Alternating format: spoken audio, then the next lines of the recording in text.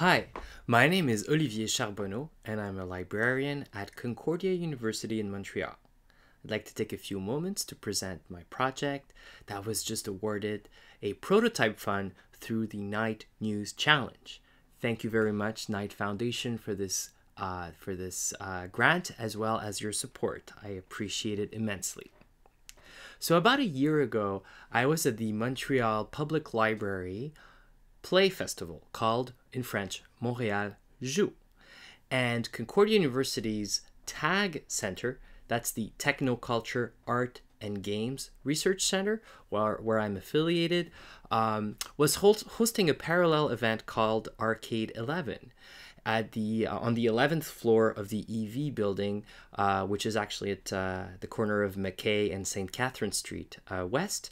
Um, we were hosting a, a, a playfest uh, of uh, our you know students games and but also games from grads, graduates of uh, Concordia as well as some of our friends. And so we had them over. We had uh, this our community over uh, on the 11th floor of the EV, EV building where TAG has its uh, lab.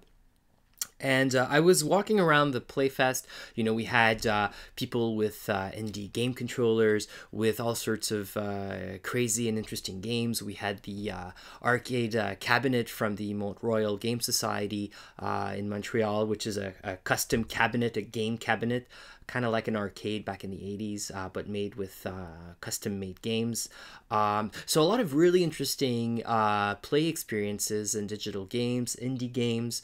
Um, and I was wondering, uh, as a librarian, how can I buy those games? How can I have them in my library? We're not talking about, you know, games on a media or any kind of, you know, physical media, but really born digital games. And so, I was talking to the different um, indie game developers, asking them how it's possible, and nobody was quite sure. And I was talking to uh, librarians who were coming in from the city of Montreal public libraries, and, and you know they wanted to have those games in their collection, but not sure how it would happen.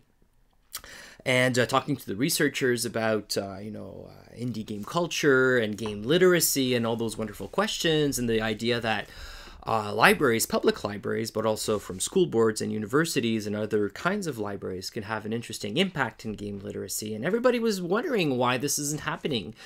Um, and yeah, we kind of identified a few issues why potentially there's technological issues like how would that happen? Would you stream the games? Would you download the games? So those are technological issues. You know, you would need proxy servers and passwords and all sorts of interesting uh, technological uh, things to happen then you had community issues. So, for example, uh, you know, uh, how would you uh, describe the games? How would you have them available via the catalog, uh, via the library catalog, via websites? How would that happen? Would you have uh, reader assistance or reference services happening? How would you educate people about these games and assist them in in in, in using them and playing them? And so those are community-based issues, um, and and you know those that's that's a, another thread that we kind of talked about a lot. And then the final thread, which is you know the one I'm most personally interested in as a PhD student in law, uh, is uh, what kind of licensing needs to happen between the indie game developers and the libraries, so that libraries can make these games available as a born digital uh, thing. And so also, how do you remunerate the indie games developers? What kind of licensing fees are associated to those? The subscription cost, and how would that work uh, with copyright? And so, uh, talking about these different points um, and being inspired by them, uh, I drew up maybe a two, three page document uh, kind of summarizing all of that. And this was in la- um, you know last April that this happened, this, these conversations. Uh, and um, I, I wrote up that document, presented around, sent it around to a few people. They, everybody thought it was a great idea. But then summer rolled along and I had to work on my thesis. So I put the document in a, in a drawer and focused on my thesis for the summer. But then in September 2014, uh, the Knight Foundation issued its uh, news challenge, its uh, 12th news challenge, and the theme was bang on the money. It was how do you uh, innovate in libraries to engage communities? And I'm like, wow, this is a perfect opportunity to bring the project out there and see if it flies. And so, uh, with the team at the Technoculture Art and Games Research Center and a bunch of really motivated people all around Montreal and the world, we drew up this wonderful project exploring these three th- threads the technological thread, the community thread, and the legal thread. And the Knight Foundation uh, was excited about it. They were interested in it. And uh, so they've asked us to take the big idea and create the first prototype, which uh, would build on these different threads, but bring it into something that's tangible and de- deliverable within the next few months. And so that's actually a really interesting challenge. So we had to figure out out of this big edifice, out of this big construction, what would be the first brick. And that's where we came up with a library game console.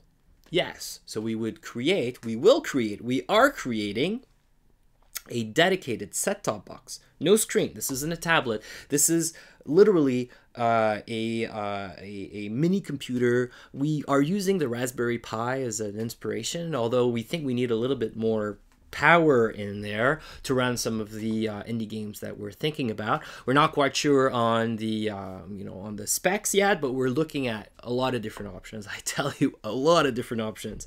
And so we have uh, brought the prototype phase into uh, another set of requirements that we're looking at. So the first one, obviously, is the the the case itself, um, because it will be handled in a library setting. So you have certain requirements that it needs to follow.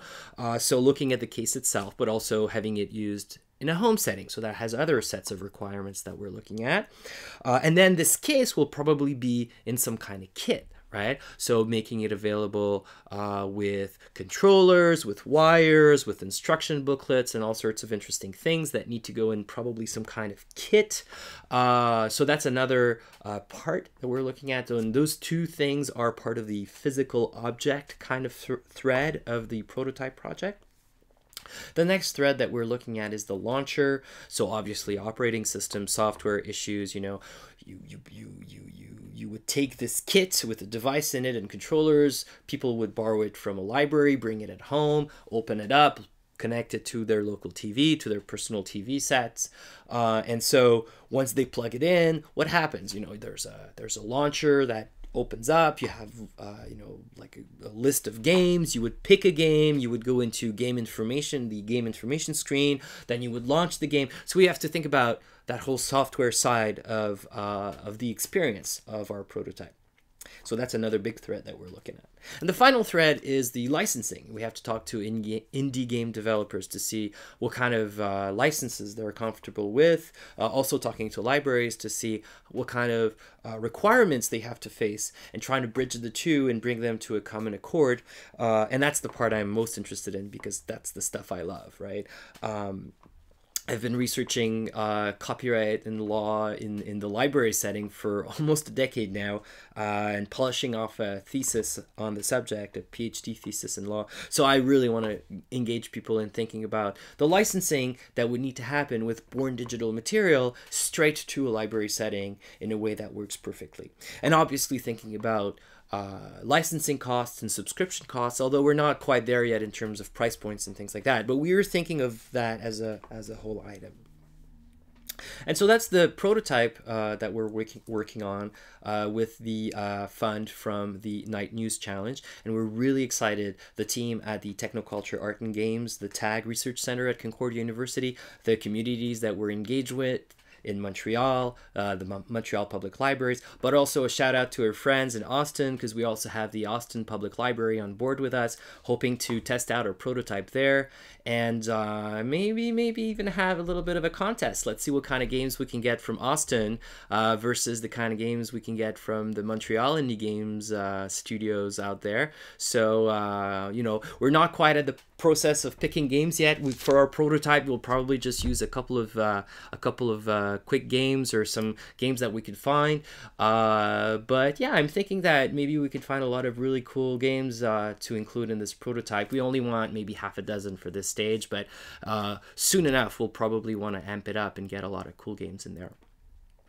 So thank you, thank you, thank you, Knight Foundation, for this uh, this show of support for the Seed Bunny. We're hoping to really do some interesting things. So the prototype that we are building, and yeah, you know, you're thinking, wait a minute, prototype physical device that doesn't make sense. Why don't you go into straight, you know, straight into uh, streaming or downloads and things like that? Well, you know, we we want to build on uh, we want to build on uh, the strength of uh, local libraries. So libraries are physical buildings with people who work in them. You have service desks, uh, and the other issue is not you know although high-speed internet is prevalent everywhere, not everybody has internet. You know, think about that. The idea that you physically get a box from a library with games in it means that you don't need any kind of other object at home except a, a TV. And I'll bet you there are more TVs in the U.S. than there are people in with internet uh, connection. So that's a pretty good gamble. I could check the data. I will check the data. But the point here is that you know, uh, we want to use the physical strengths, the strengths of libraries as physical uh, institutions that are in communities to engage communities in interacting with digital games. And soon enough, we want to have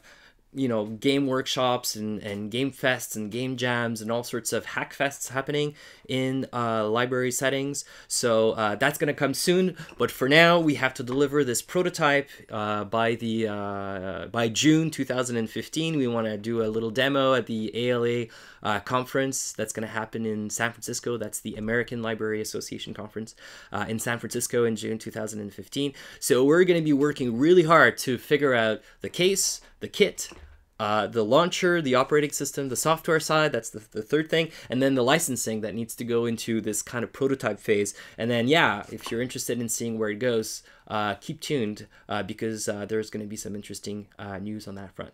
So, my name is Olivier Charbonneau.